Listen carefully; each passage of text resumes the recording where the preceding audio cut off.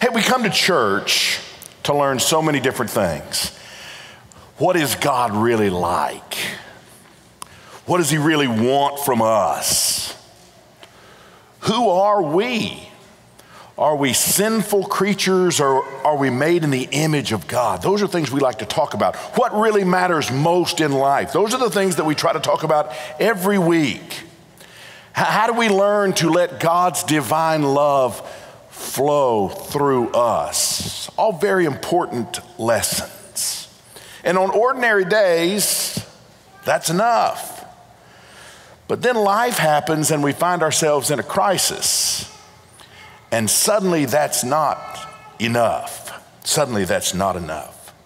I brought this out because I wanted to show you something just to kind of give us a launching pad for the talk today, and I think it'll be very, very helpful.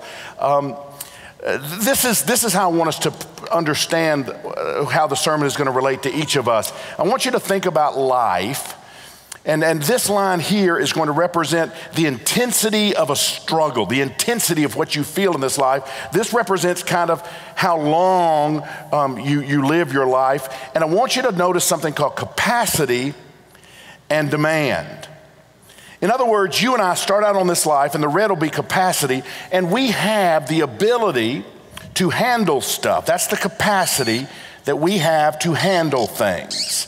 Now, hopefully, as we grow older, we are getting a little bit better at handling and having a capacity to handle struggles and trials and difficulties that come, come about in our lives. You understand that? That's the capacity we have to handle things. And life rocks along pretty good as long as the demand for life stays under the capacity that we have to handle it. You understand? If I get a letter from the IRS, which I have had happen before, and if a letter says, Mr. Waters, we have recalculated your taxes and you owe us $372, and I have $500 in the bank, that means this little almost scare isn't such a big deal because my capacity is greater than that demand. And it's like, yes, sir, Mr. IRS agent, I will put that in the mail to you right away. But what happens when the IRS writes you and says, Mr. Waters, we have recalculated your taxes over the last several years, and we have discovered you owe us $15,722 and we want it now, and I have $327 in the bank. Suddenly, that little issue takes it past my normal capacity to, to handle it. You follow me? Same thing with the doctor. I go to the doctor and he says, Mr. Waters, you're looking good. We've done some tests your health is not as great as we hoped it would be. We tense up just a little bit. Your blood pressure is a little high. We want you to get on some cholesterol medicine. We want you to get on some blood pressure medicine. Well, I can handle that, right? That's, that puts me back down here. That's something that's within my capacity to handle. It's like, yes, sir, that's great. I want to get on the medicine. But we also know, and we've experienced either personally or through someone we know, when the doctor says, sit down, I got to talk to you about something your health is of grave consequence right now, and we don't know exactly how you're going to be able to get through this. Relationships, it happens in relationships. You know what it's like when you're dating somebody and you're really tired of it. It's just not going where you want it to go, but you don't know how to get out of it and they say to you, Can we have a talk? And you say, Sure. And they say, You know, I'm not really happy and I think I want to date other people. And you, you may tear up, but you're really happy. You're down here. This is like, Thank you, God. Thank you, God. Thank you, God. Thank you, God. You know the feeling, right? Uh, David giving me two amens on the front row. David has been there, he knows.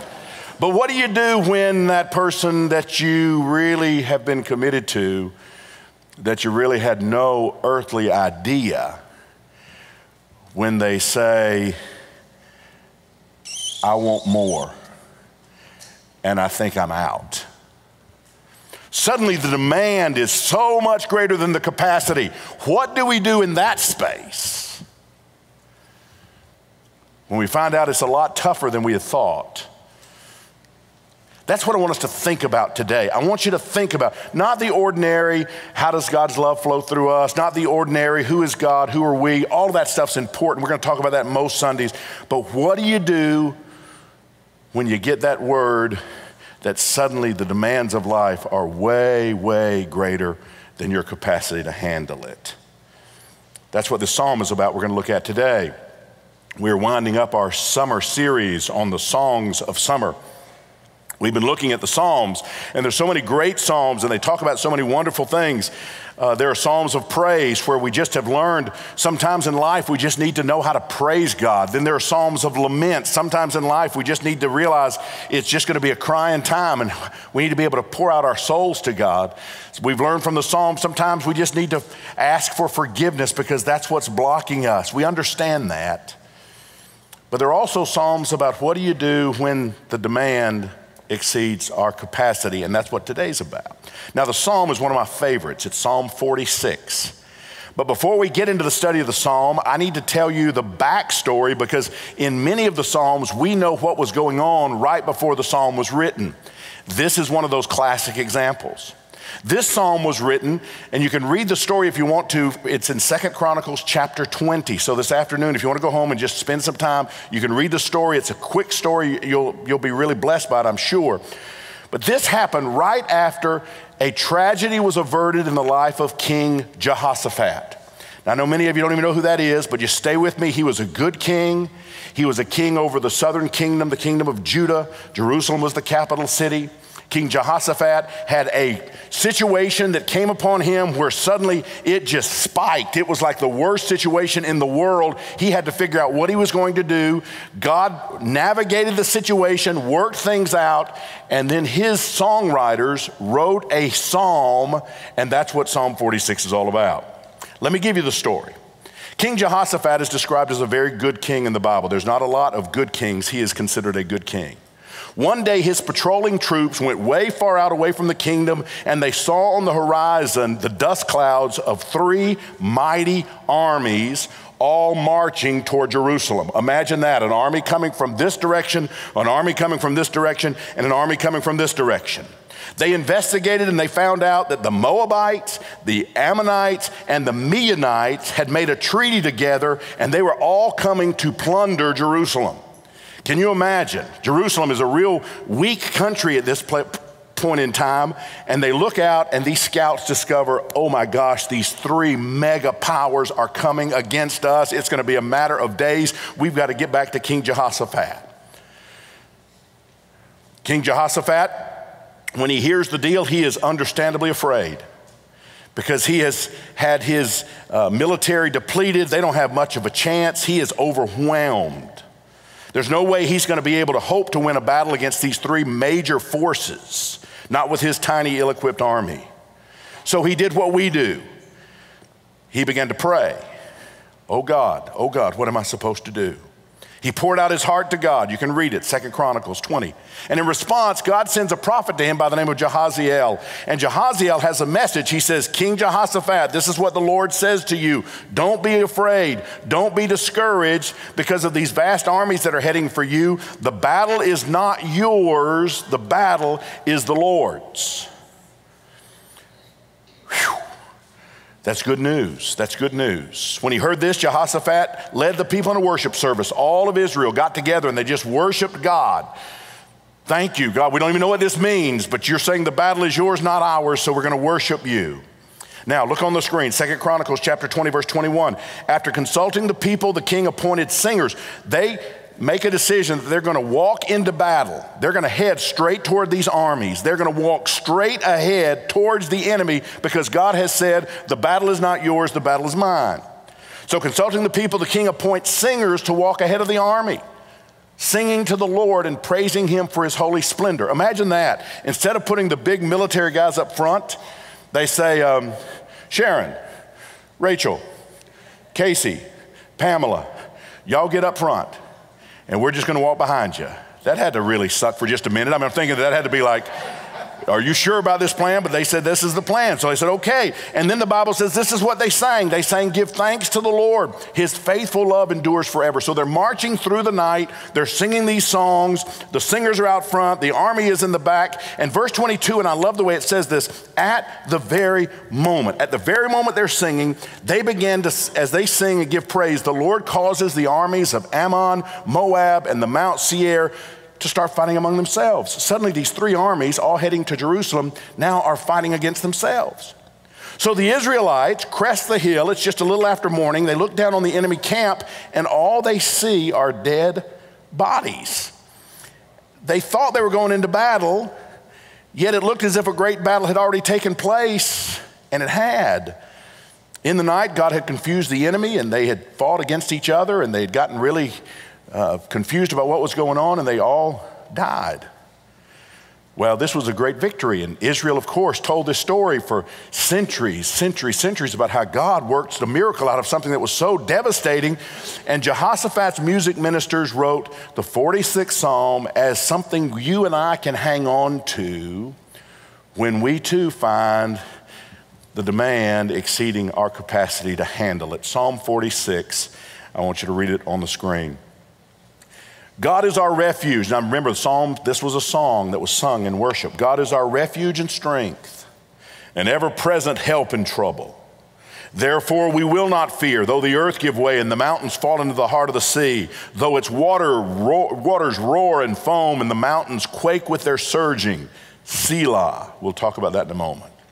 There is a river whose streams make glad the city of God, the holy place where the Most High dwells. God is within her. She will not fall. God will help her at break of day. Nations are in uproar. Kingdoms fall. He lifts his voice. The earth melts. The Lord Almighty is with us. The God of Jacob is our fortress. Selah. Come and see what the Lord has done, the desolations he has brought on the earth. He makes wars cease to the ends of the earth. He breaks the bow and shatters the spear. He burns the shields with fire. He says, Be still and know that I am God. I will be exalted among the nations, I will be exalted in the earth. The Lord Almighty is with us. The God of Jacob is our fortress. Now, I want to look at this psalm and I want to give you three thoughts that come out of, right of the psalm to me about what we need to do when the demand is greater than our capacity to handle life. When we get that devastating news, when our heart sinks because we think this is too big for me.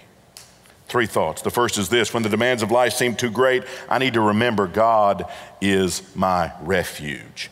When the demands of life seem too great, I need to remember God is my refuge.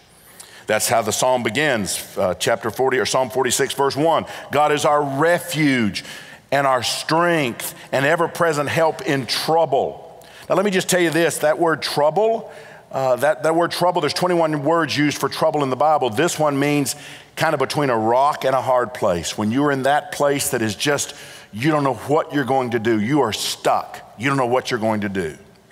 And then when it says refuge, that's not a word most of us use every day. So let me give you the definition for refuge. Refuge means a condition of being safe or sheltered from pursuit or danger or trouble.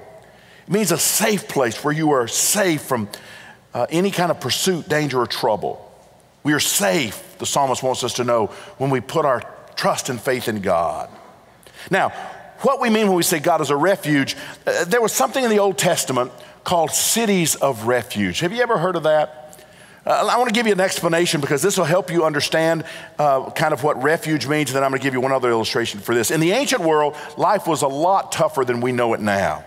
In certain parts of the ancient Middle East, where populations were spread out, societies weren't well organized, and judicial systems were few and far between, people kept law and order in a very primitive way. In those days, they had something called pre summary justice.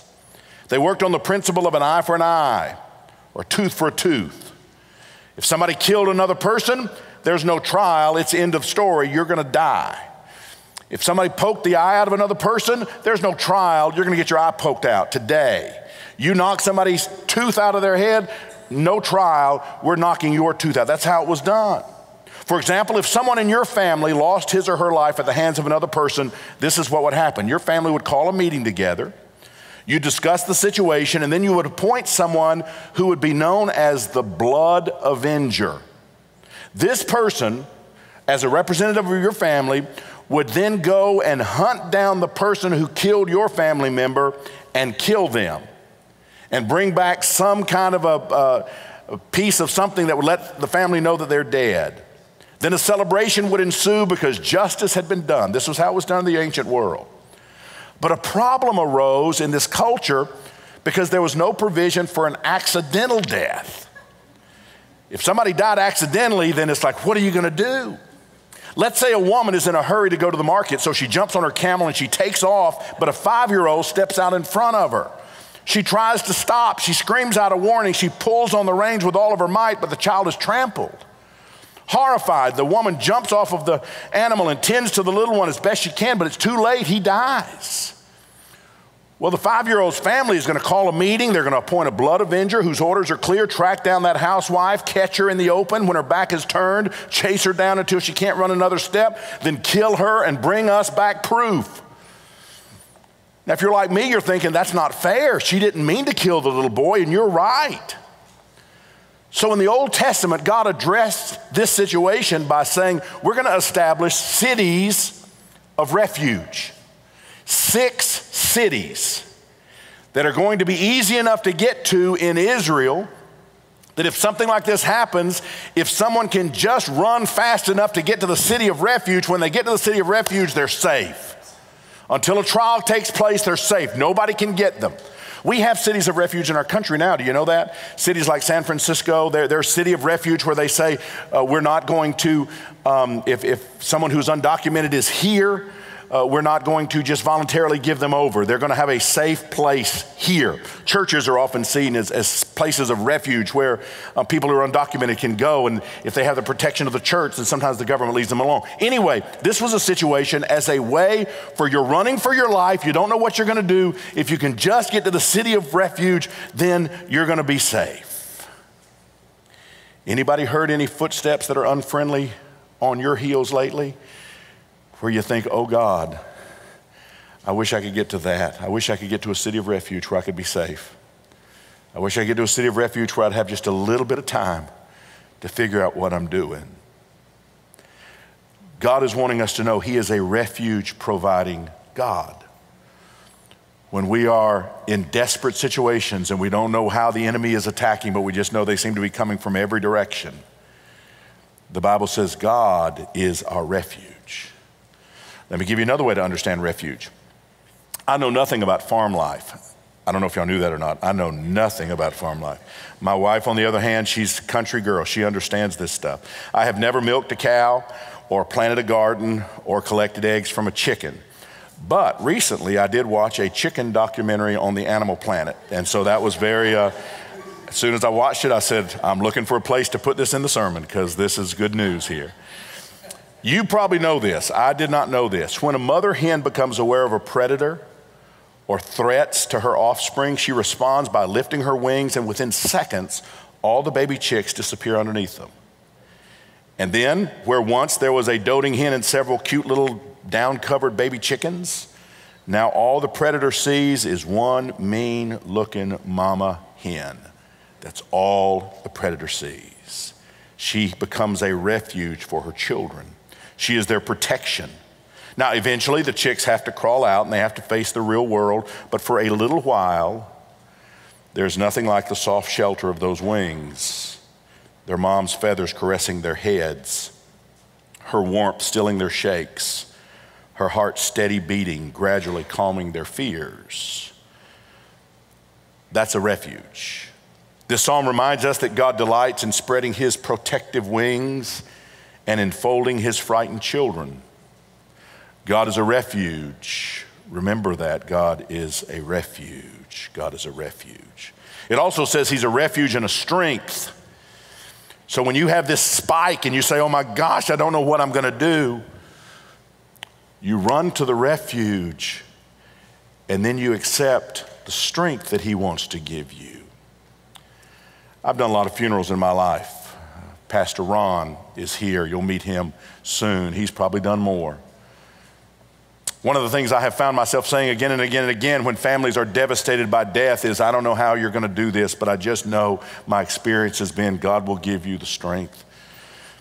I don't even know where or how it works, but I just know that you're going to look back at one point in time, you're going to look back and say, I don't know how I got from here to there, and it's going to be God giving you strength every step of the way, He's going to give you strength. He's going to give you strength. Remember the song we sang as kids? You know it, sing it with me. Jesus loves me, this I know, for the Bible tells me so. Little ones to him belong. They are weak, but he is strong. God is our refuge. God is our strength. And then it says he is ever present. That means he's always there. You have to wonder about that. He is ever present. And when you understand that, verse 2 says, Therefore, we're not going to fear, though the earth give way and the mountains fall into the heart of the sea, though its waters roar and foam and the mountains quake with their surging, we're not going to be afraid. Because we're learning that we are safe with Him. We are safe with Him. Our world's rocked, but we know He is there. Then the verse says this Selah. Most of the time, we just jump right by that. We don't even think what that means. Selah is used 74 times in the Bible. It's used 71 times in the Psalms and only three times anywhere else, and that's in the book of Habakkuk. Here's what it means it means pause, it means time for a musical break. If we were singing this, we would sing that first verse, and then we would all stop and we'd all turn, and Darwin would begin to play the guitar or Jimmy would begin to play the piano. And we would all begin to think about what we had just sung. We would just begin to think about what were the words? What is the psalmist wanting us to understand? What is he wanting us to get into our hearts about these difficult times that sometimes sneak up on us? And we would have a moment of just quiet reflection. So, can we do that right now? I just want you to bow your heads for just a moment. And let's practice Selah. That's that rest. The music keeps playing, the guitar keeps playing, but we are thinking about what we have just read. When trouble comes, what do I need to realize? God is a refuge. I can run to Him. God is strength. When I feel so weak, He can be strength. And He is ever present, always willing to help me in times of trouble. Oh God, help me. Oh God, help us. Okay, second thing I want you to see is this. When the demands of life seem too great, I need to remember God resides in me and He provides a river of grace to me. Now, I want you to look at the verse. I want you to see something with me. Verse 4 says this There is a river whose streams make glad the city of God, the holy place where the Most High dwells. Let me ask you a question Where does the Most High dwell, according to the verse? City of God. PhD right there, buddy. You, that was awesome. That was awesome. City of God. Now, in the Old Testament, the city of God was often referred to as Jerusalem, but it also had this mythical, mystical other place, which was kind of like beyond this world. Beyond this world. Maybe heaven. A lot of times they understood it as heaven, not as advanced. The New Testament advanced it more, but it was kind of that, that heaven thought. That was the city of God. Well, we know this reference isn't about Jerusalem because it mentions a river flowing through it. So it can't be that God is dwelling in the city of Jerusalem because there was no river flowing through Jerusalem. Most of the great cities of the world are all built on rivers, but not Jerusalem. Egypt had the Nile, London had the Thames, Beijing has the Yellow River, Paris has the Seine River, Washington, D.C. has the Potomac, and New York has the Hudson, and New Orleans has the mighty Mississippi. But Jerusalem is unique among most ancient cities because normally they were built on the banks of a river. That wasn't true, not in Jerusalem. Jerusalem never had a river running through it. So, what does it mean? The Most High dwells in the city of God. They thought that God dwelt in first the tabernacle, which was a little traveling uh, temple kind of a thing, and then they thought God dwelt later in the temple. But then Jesus says, No, You are the temple. God resides in you. God resides in you. So, what I want you to get is when this happens, you need to remind yourself that Almighty God is in you. He is in you. Every bit of Him is in you. You have strength that you never knew. You have ability that you never knew. He is residing in you. God is not looking down at you in a crisis. We sometimes think about three tiers, God is up there. God is not up there. God, we ask you to come into our presence. Are you kidding me? He's right there. He's right here. We are existing in Him. We don't have to get Him to come down, He's here. You reside, and He resides in you. You reside in Him, and He resides in you. Then it says this there's a river whose streams make glad the city of God because the Bible was written in a desert environment. You know what? Anytime you see rivers in the Bible, it's a picture of enormous grace. It is a beautiful picture that would have just caused people's eyes to light up and smiles on their face when they thought about there's a river of a river that flows through the city of God. What a beautiful thought that is. That's like God has just got grace that He's going to pour into you. God has grace He's going to give you. So let me tell you something. You maybe have never experienced this in your life.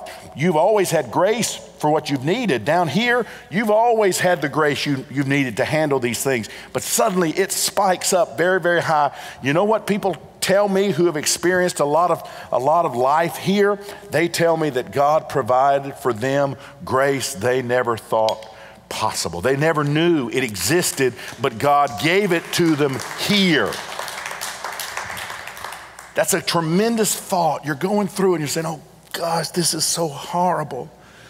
But you remember, God resides in you, and God gives you a river of grace to flow through you, and that river of grace will allow you to handle whatever you need to handle. Third thing by the way, in this verse, uh, let me go back just a moment, um, where it says, uh, uh, verse 6 Nations are in uproar, kingdoms fall. He lifts his voice, the earth melts. The Lord Almighty is with us. The God of Jacob is our fortress.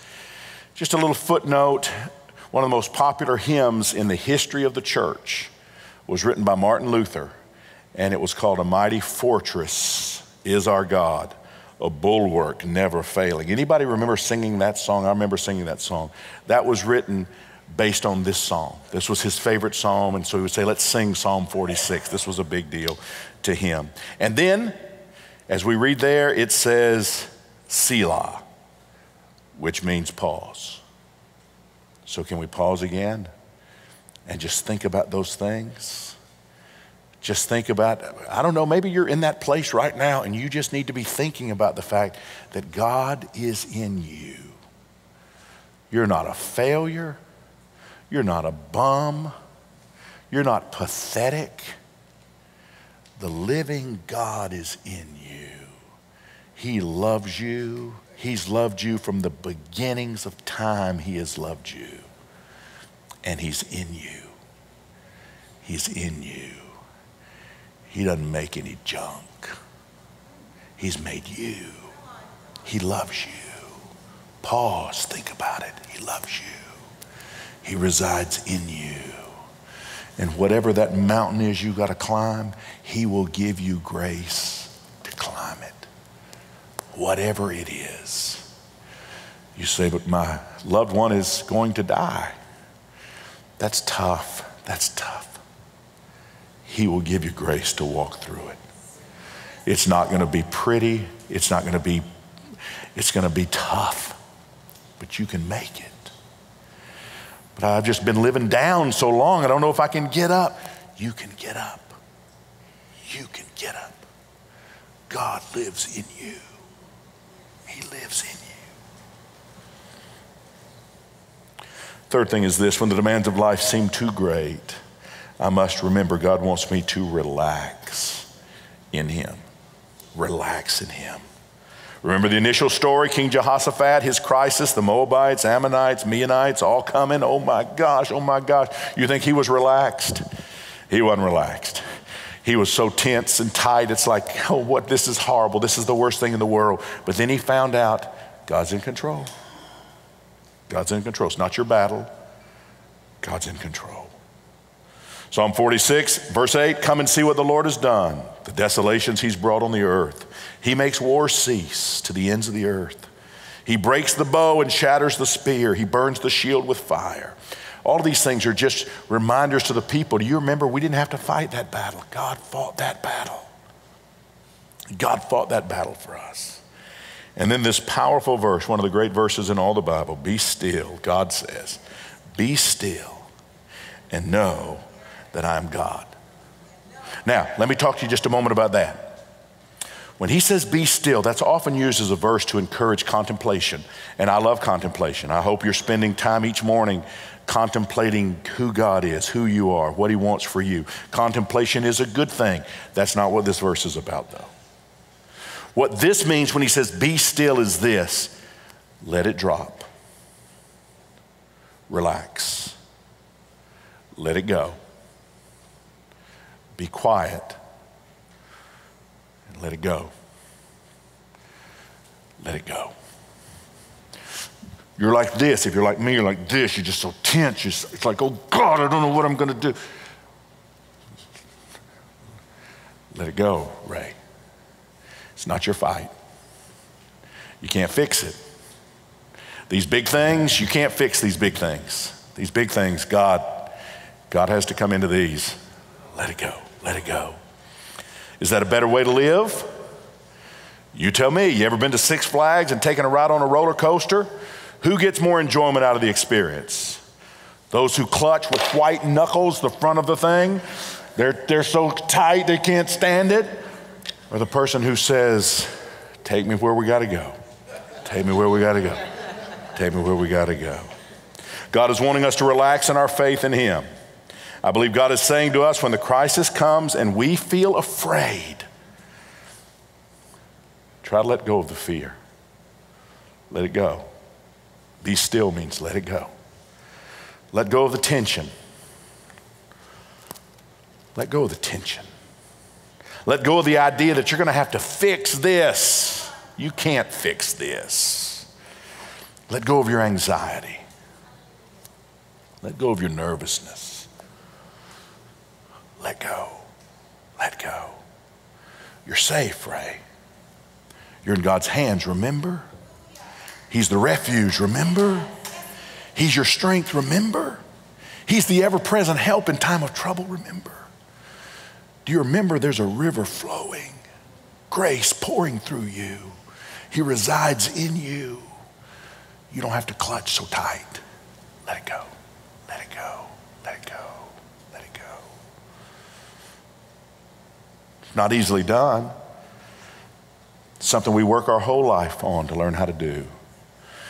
Every once in a while now, I'll do it a little bit better than I used to do it. And when it's over with, it's like, yes, that was awesome.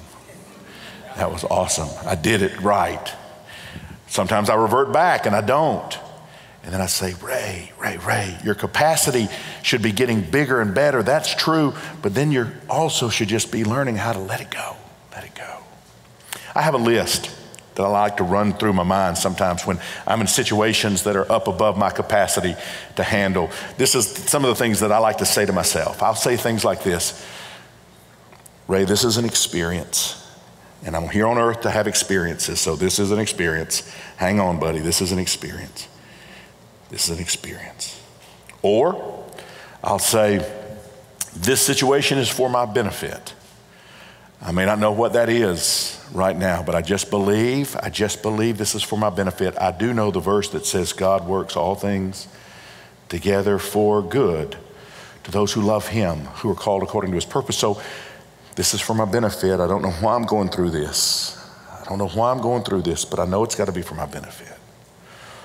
Or this, my fears may come true, but the outcome is not going to destroy me. My worst fear may come true. The doctor's report may be accurate. There may not be a miracle on the horizon that's going to pull me out of this situation, but it's not going to destroy me. This may even be good for me. I'm just going to wait and see. And I'm going to trust God every step of the way. Or I'm struggling with this right now, but my frantic fear isn't the real me. It's not the real me. I'm going to be able to handle this. It will pass. It will pass. It will pass. That's one of my favorite verses in the Bible. You know, it came to pass. It came to pass. It came to pass. That means that however it is right now, it's not going to be like this forever. It will come to pass. And so I just remind myself of that. It came to pass. It came to pass. It came to pass. Or this one, whatever fear may say, I'm going to remember nothing can destroy me. Nothing can destroy my soul. Nothing can destroy my spirit. I am, I am built for eternity. Nothing is going to, nothing changes that, whatever may happen in this world. Or this, change is inevitable. Realize that, Ray, change is inevitable. Resisting change doesn't work. If this is just about resisting something that's a change, we have to change in life. So just be on the, Uh, just be aware, change is inevitable. Or there's something here for me. I don't, I don't have awareness of it right now, but there's something here for me. I'll find it. I've just got to put my eyes on it and be looking deep in it. I don't know. Or I think this God is on my side. God is on my side. He is not against me. He has never been against us. Ever one second has He been against us. He has been for us, always for us. Or I am loved, and because I am loved by Him, I know I am safe. Because I am loved by Him, I know I'm safe. Be still and know that I am God. That's another beautiful word, know.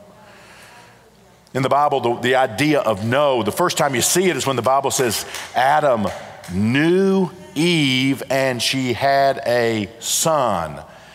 Adam knew Eve. There was a deep, deep knowing we know God. We let loose of what we are hanging on to so tightly, and we know Him. We know Him. We know Him. It's not surface knowledge, it's deep experiential knowledge. Now, let me say this part of this, part of this getting greater capacity, part of that is age part of it really is age. It just comes, unless you really are, are, are developmentally challenged, it should come. But most of this happens in you because you decide you really want to know God. You really want to know Him, and you want to think differently about the situation you find yourself in. It is not the weak minded who can say, God is my refuge and strength and ever present help in times of trouble. It's not the weak minded that can say, God resides in me and He's providing a, a river of grace to me. It's not the weak minded that can say, I can relax in Him because I know Him. I know Him. And then, of course, there's that familiar Selah, which means think about it. Think about it. And do that just for a moment, please. Think about it.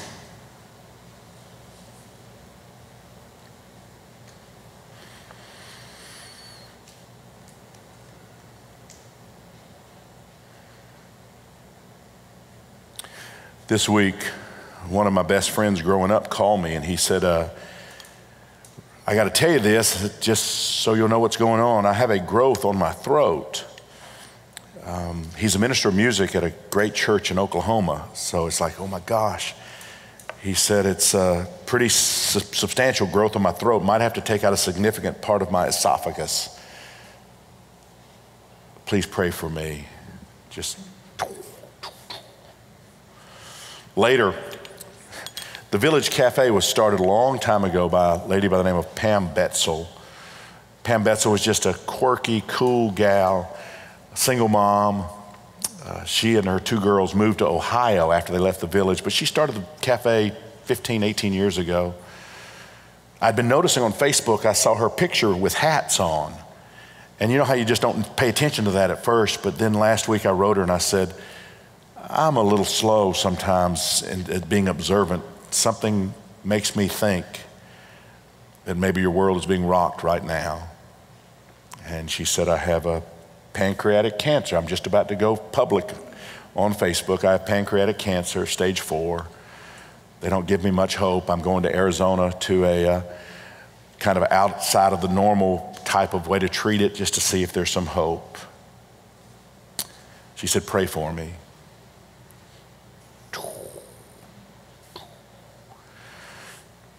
Good friend of mine comes to the church. When she comes, she comes here. Good friend. This week, she went to the doctor with perfect health, only to find out she has very significant cancer. They put chemo ports in her, and suddenly, in just a matter of a day,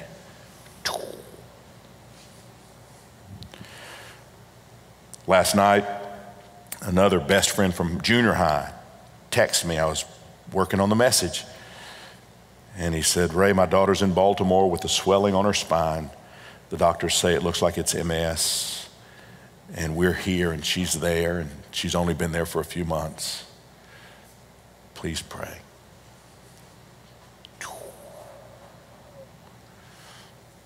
I don't know what's going to happen in any of those situations. Each one of these friends has crossed a line where their capacity can't handle the demand. I don't really know what to say except this God is our refuge and strength, an ever present help in trouble. Therefore, we will not fear, though the earth give way and the mountains fall into the heart of the sea, though its waters roar and foam and the mountains quake with their surging. There's a river whose streams make glad the city of God, the holy place where the Most High dwells. God says, Be still and know that I'm God. Father, thank you so much for the 46th Psalm. May it become strength for us when the demands of life are too great. Thank you for being a refuge. Thank you for not leaving us alone. Thank you for hope. Thank you for this day. In the name of Jesus.